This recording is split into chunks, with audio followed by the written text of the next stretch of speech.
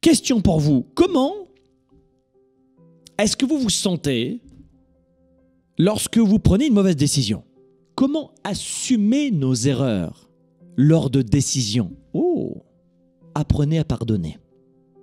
La plupart d'entre vous, je vous trouve vraiment rude avec vous-même. Trop rude avec vous-même. Apprenez à vous pardonner.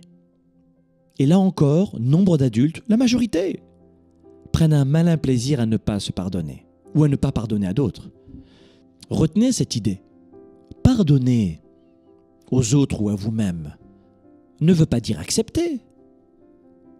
Pardonner ne veut pas dire oublier. Ça veut dire pardonner. Vous délester. Vous comprenez l'image? Délestez-vous.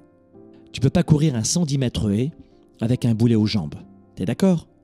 Et tu vas me dire, bah oui Franck, c'est logique. Bah, c'est ce que tu fais intellectuellement et psychologiquement tous les jours. Tu cours avec tes boulets. Et en plus, tu dis, j'avance pas assez vite. Il faut vous délester de vos boulets.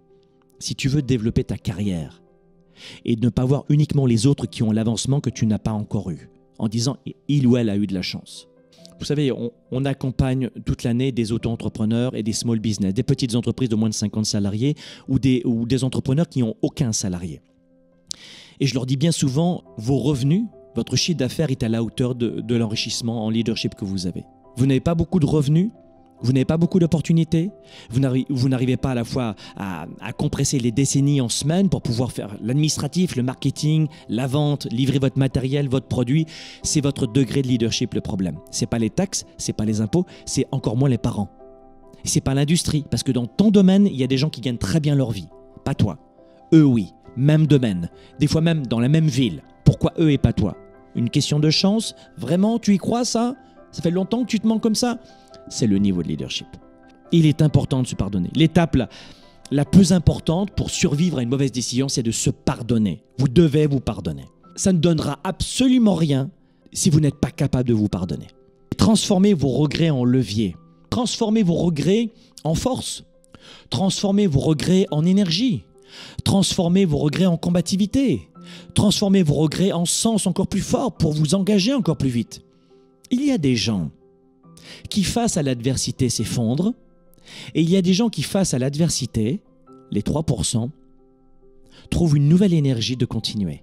Vous comprenez? Eh bien, c'est ça que ça veut dire.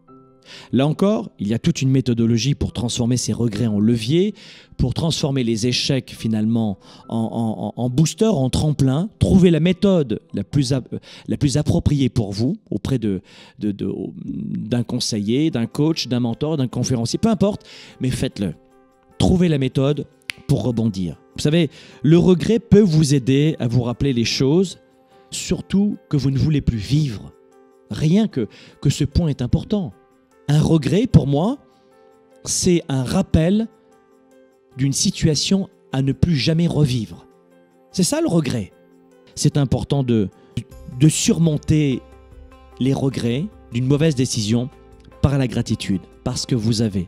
Avoir de, de la reconnaissance pour le parcours que vous avez effectué. Ayez de la reconnaissance pour l'homme ou la femme que vous êtes devenu. C'est pas c'est pas le sommet en lui-même qui est le plus important, c'est la personne qui gravit ce sommet. Qu'est-ce qu'elle devient? Créer un processus décisionnel à venir.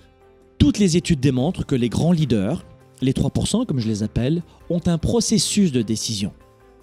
Ils ont mis au point, chacun à leur sauce, un processus de décision. Il y a une stratégie.